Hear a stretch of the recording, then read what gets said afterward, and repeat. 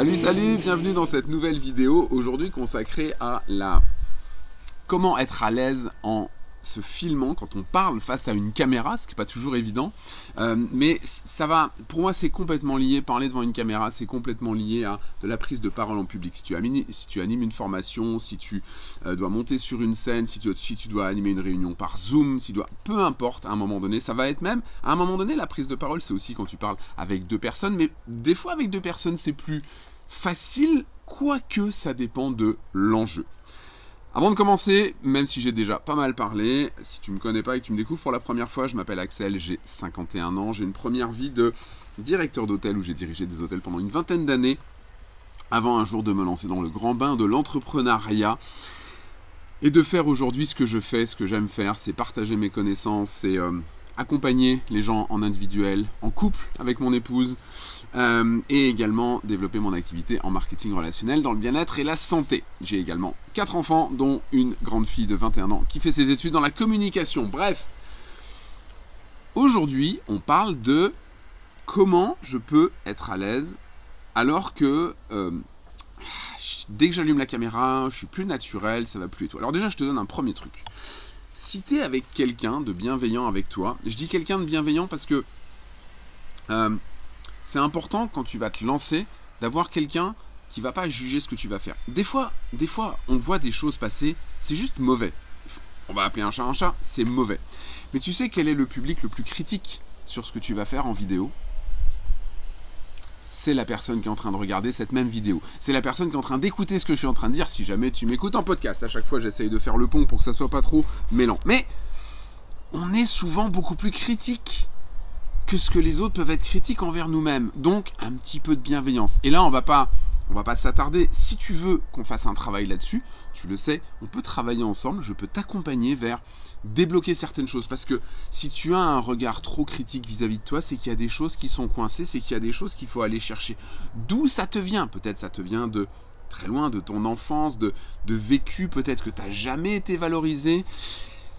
C'est vrai, quand on réfléchit un petit peu, euh, quand on arrive sur Terre, à l'école, tout ça, on n'est pas forcément toujours très très valorisé, mis en avant. Alors du coup, quand on se lance en tant qu'adulte, ben, on se traîne tous ces boulets-là, et à un moment donné, c'est bien de trouver moyen de couper les chaînes et d'avancer. Donc, encore une fois, si tu as besoin, n'hésite surtout pas à me contacter pour qu'on envisage un éventuel travail ensemble. En tout cas, dans ce contenu d'aujourd'hui, ce que j'ai envie de te dire, je vais te donner quelques trucs euh, pour que tu arrives à un moment donné quand même à être à l'aise. Et ces trucs, encore une fois, tu vas pouvoir t'en servir dans, plusieurs euh, domaines, que ce soit quand tu te filmes, que ce soit si tu dois animer une formation, une réunion, même à distance par Zoom. Hein, il y a un moment donné, euh, si tu es en train de faire un Zoom avec 10 personnes, 20 personnes, 100 personnes, bah, les gens sont quand même là. Donc même s'ils sont pas directement devant toi, quelque part, ça peut être intimidant. Puis quelque part, j'ai envie de te dire, euh, quand tu te filmes, tu es juste devant un téléphone, un appareil photo, quelque chose, puis tu te filmes en fait, d'accord? Donc, c'est euh, le côté intimidant, c'est euh, bizarrement, c'est le fait de, parler, c'est le fait d'exprimer des choses qui fait que des fois on, on cafouille. Alors, qu'est-ce que je vais te conseiller? Dans un premier temps, j'ai envie de te dire, dédramatise la situation dédramatise la situation. Si tu as décidé de faire une interview de quelqu'un, par exemple, c'est que un moment donné, tu vas préparer quelques questions, puis logiquement, tu vas faire parler la personne plus que toi, tu ne vas parler. Donc, prépare-toi. Dans tous les cas, le grand truc pour être plus à l'aise, c'est d'être prêt. C'est-à-dire, euh, moi par exemple, si tu me demandes de te faire un exposé sur les différentes variétés de champignons euh, en Bretagne, ben très sincèrement, ça va être compliqué je, vais, juste être sec en fait. Alors je vais pouvoir peut-être inventer des choses parce que j'ai euh, un certain bagou et j'ai un pouvoir imaginatif assez fort, mais peut-être que si tu vérifies ce que je vais dire, tu vas trouver que je t'ai dit absolument n'importe quoi parce que j'y connais rien en fait. Ça me parle pas les champignons en Bretagne, je sais pas ce qu'il y a comme champignons en Bretagne. Et ceci dit, Ici, je crois qu'il y a quelques cèpes et quelques trucs comme ça, mais je pourrais pas faire un exposé là-dessus. Maintenant, si tu veux que je te parle de euh, mon activité, euh, par exemple mon ancienne activité d'hôtelier, je peux te parler d'hôtellerie sans problème pendant des heures, je peux te parler de cuisine, je peux te parler de, de kitesurf, je peux te parler de mon activité en marketing de réseau, je peux te parler de, de mes produits bien-être et santé, je peux te parler de perte de poids, tout c'est parce que je suis à l'aise avec en fait. Donc j'ai pas besoin, je peux même te parler, par exemple, j'ai fait du tennis pendant des, années, j'adore ça, je peux te parler, je peux te faire un, contenu pendant, euh, je sais pas, 10 minutes, un quart d'heure, une demi-heure sur le tennis, il n'y a pas de problème. Je maîtrise ça en fait. J'ai pas besoin d'un temps de préparation de fou. Mais si à un moment donné tu dois intervenir sur un sujet avec lequel tu n'es pas à l'aise, effectivement c'est beaucoup plus compliqué. Donc là ça va te demander une préparation. C'est un petit peu, ben, on retourne à l'école, hein, on retourne vers le euh, faites-moi un exposé demain sur euh, euh, la crise de telle année tu connais rien, il va falloir que tu cherches des choses et donc du coup, en même temps, tu vas apprendre. Puis des fois, c'est là aussi où peut-être tu vas faire des choses, tu vas devoir parler de quelque chose qui ne te fait pas forcément vibrer. Alors, mon grand conseil, effectivement, si tu peux échapper à ça, si tu, par exemple, si tu me regardes et que ton intention, c'est de créer du contenu pour des gens pour qu'ils s'abonnent à toi, euh, que tu développes des choses sur les réseaux sociaux, etc surtout prends des sujets qui te font vibrer, qui te passionnent, pour lesquels tu sais que tu vas pouvoir, tu vas être un puissant fond, en fait, tu vas pouvoir parler, parler, parler, raconter. D'accord? Donc, dans un premier il faut vraiment que tu connaisses ton sujet et dédramatise. Parce que moi, si tu viens, toi, par contre, me proposer euh, un webinaire autour euh, des, champignons en Bretagne et que j'ai décidé de faire un voyage en Bretagne avec ma petite famille, que ça m'intéresse, je viens chercher des informations. Donc je, suppose que tu en connais plus que moi. Donc même si tu m'apprends pas euh, l'intégralité de tous les champignons qui en Bretagne, je sais qu'à un moment donné, je vais en repartir avec du contenu. Est-ce que tout le monde est bienveillant, notamment sur les réseaux sociaux? Absolument pas. Non, absolument pas. Je peux te dire que avec la grosse communauté que j'ai sur TikTok, quoi que je fasse, quoi que je dise, régulièrement, j'ai des commentaires désobligeants. Tu dois faire avec. Alors ça va pas bien de dire tu dois, puis d'un autre côté, mon discours, c'est tu as le choix. Effectivement, tu as le choix.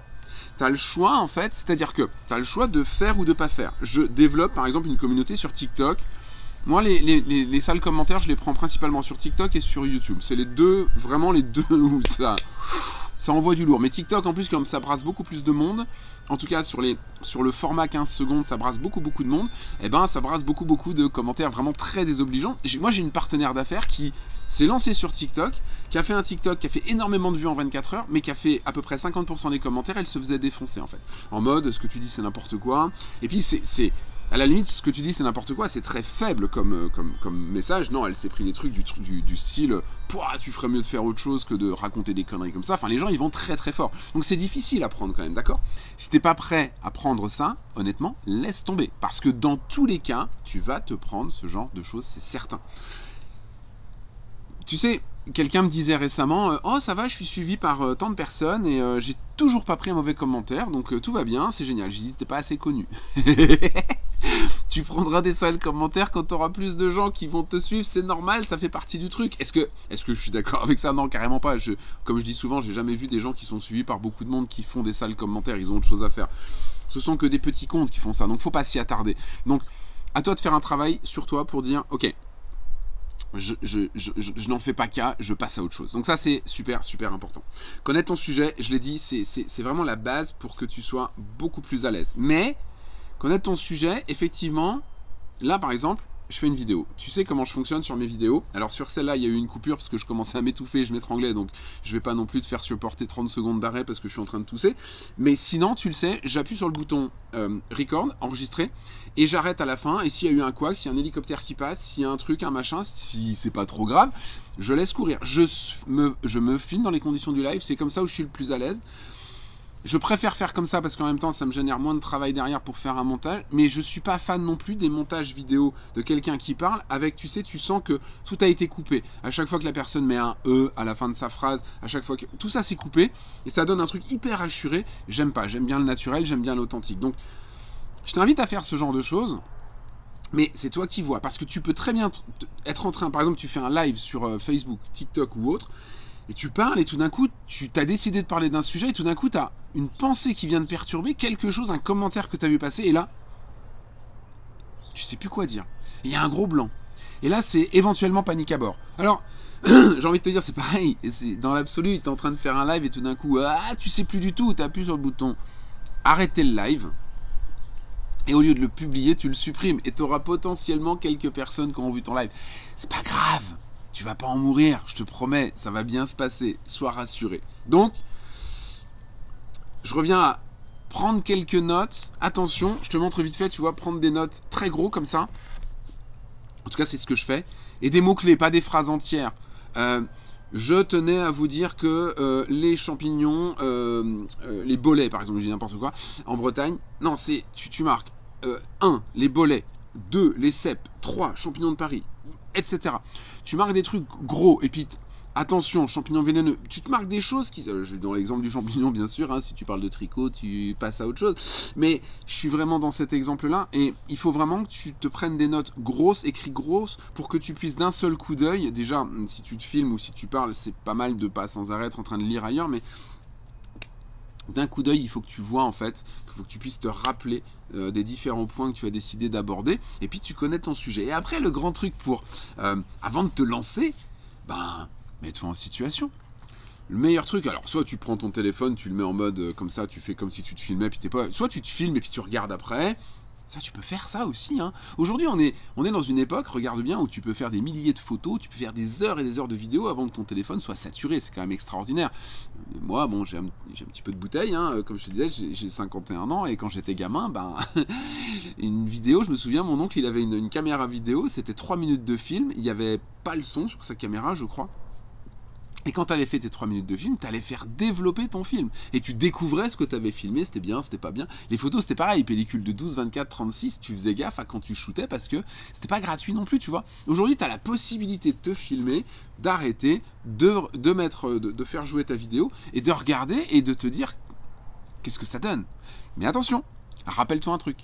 Tu es la personne qui va potentiellement être le plus critique avec toi-même. Je vais te dire un truc. Quand je, quand je fais des vidéos, euh, c'est très rare que je re-regarde ce que j'ai fait. Tu vois, si je sais que j'ai pas fait de quoi, ou j'ai rien dit de méchant, je vais prendre ce, clip-là, par exemple. Bon, celui-là, il faut que je le monte. Hein, tu le sais, il y a une coupure, au moins une. Mais sinon, je prends mon clip, je le mets sur ma table de montage, je mets l'intro, je mets l'outro. Et entre les deux, à partir du moment où le son est bon, je re-regarde pas. C'est comme ça que je fonctionne. Euh, mon épouse, elle, elle, oh là là, hmm, il, y a, il, y a, plein de violettes. Alors je te, le dis, hein, je viens d'avoir une effluve de violettes dans le nez, c'est absolument merveilleux, ça sent tellement bon la violette. Bref, c'était l'intermède euh, parfum. Mon épouse, elle, elle, quand on fait un live ensemble, quand elle fait une vidéo elle-même, quand tout ça, elle se re-regarde, elle veut voir, être sûre que ça va bien, que tout va bien pour elle. Bon, parfait, il n'y a pas de critique là-dessus, chacun fait comme il le veut. Mais si tu te lances, si tu veux être plus à l'aise, fais semblant. Tu peux même lancer un zoom avec quelqu'un et lui dire est-ce qu'on peut s'entraîner ensemble? Moi, la première fois que j'ai fait une conférence, j'ai demandé, alors la première fois j'ai dû présenter quelque chose devant du monde, j'étais euh, adjoint dans un hôtel et je devais présenter devant 200 personnes si je dis pas de bêtises. J'ai demandé à mon équipe de, responsables, ils étaient 5 ou 6, s'ils voulaient bien m'écouter. Je l'ai fait et ils ont pu tous me dire, euh, et notamment à l'époque c'était Axel, on t'a pas reconnu en fait on a eu l'impression de quelqu'un qui récitait son texte, qui n'était pas à l'aise, tout ça. Donc j'ai pu corriger ça. N'hésite pas à demander aux gens autour de toi, en toute bienveillance. Si tu sais que c'est des gens qui te critiquent depuis que tu es tout petit, laisse tomber quoi. Mais si c'est des gens qui sont capables d'être bienveillants avec toi-même, demande-leur. Si tu travailles avec une équipe, nous en équipe, dans, notre équipe en marketing relationnel, euh, les gens qui se lancent en vidéo, on a des groupes de discussion ensemble et ils savent qu'ils peuvent poster une vidéo que même si c'est la vidéo la plus mauvaise que j'ai jamais vue, on va pas. En fait, si tu veux, on va pas axer nos, critiques, entre guillemets, sur la qualité de ce qui est dit. On va axer nos critiques sur l'éclairage. Par exemple, est-ce que la personne, elle est là, moi j'ai le soleil en face, tu vois, est-ce que ça c'est bien réglé? Est-ce que le son est bon? Est-ce que, par exemple, est-ce que la personne, elle est pas, excusez-moi les gens en podcast, je montre un truc, est-ce que la personne, elle parle pas comme ça? Ou carrément comme ça? Est-ce que la personne, elle, elle est pas en train de parler en se regardant dans l'écran plutôt que de regarder la caméra et qu'elle regarde son auditoire droit dans les yeux? On va parler de ça. Le contenu en lui-même, c'est-à-dire comment la personne, elle, elle parle, etc., etc., quelque part de toute façon, dans les premiers temps, à moins que ça soit quelqu'un qui ait ça un petit peu facile, ça va pas être très très bon en fait. Mais je vais te raconter une anecdote. Un jour, il y a très longtemps de ça, il y a une personne de mon équipe qui me dit Axel, je voudrais euh, que tu me dises ce que tu penses de cette vidéo. Je voudrais la mettre sur ma story et sur mon mur parce que j'organise un, espèce de, goûter chez moi euh, ce week-end et je vais faire une présentation produit à des gens qui vont venir chez moi et je voudrais leur annoncer. Elle m'a envoyé les vidéos. Écoute, je te jure, j'ai vu la vidéo, j'ai dit, oi, oi, oi, mais c'est pas possible. On peut pas poster ça en fait. On peut pas poster ça, c'est. C'est pas bon. Voilà, c'est mou, c'est lent, c'est... Y a, y a, sur une vidéo de, de, un, peu, un peu moins d'une minute, il y a, y a, trop de choses, il y a trop de bonjour, c'est pas bon. Et, je montre ça à mon épouse et je lui dis, regarde, elle me dit, ouais, mais d'un autre côté, c'est vrai que c'est pas génial. Mais d'un autre côté, c'est... En voyant cette vidéo, je vois cette personne. Cette personne, elle est comme ça. Tu veux que je te dise un truc? Cette personne, je lui ai dit, écoute, vas-y, lance-toi comme ça. Elle l'a fait. Elle a eu beaucoup de monde qui est venu ce week-end-là chez elle à son goûter et elle a fait un gros chiffre d'affaires. Et ça, ça m'a donné une grosse leçon en fait. C'est-à-dire que, un, t'es pas là pour faire des vidéos hollywoodiennes, t'es pas là pour faire du top niveau, t'es là pour faire quelque chose qui va bien, toujours pareil, dans l'authenticité. Ça veut dire que, tiens, j'en profite pour te le dire. Moi, je te donne un grand conseil, t'en fais ce que tu veux, mais pas de filtre. Alors, je te dis pas, de te mettre en vidéo si t'es quelqu'un qui te maquille, si t'es quelqu'un qui euh, euh, n'y va pas avec les cheveux en pétard, quoique, c'est toi qui vois, mais mets-toi à l'aise, sens-toi déjà à l'aise avec ton image quand tu vas commencer à tourner ta vidéo. Mais, mets pas des filtres.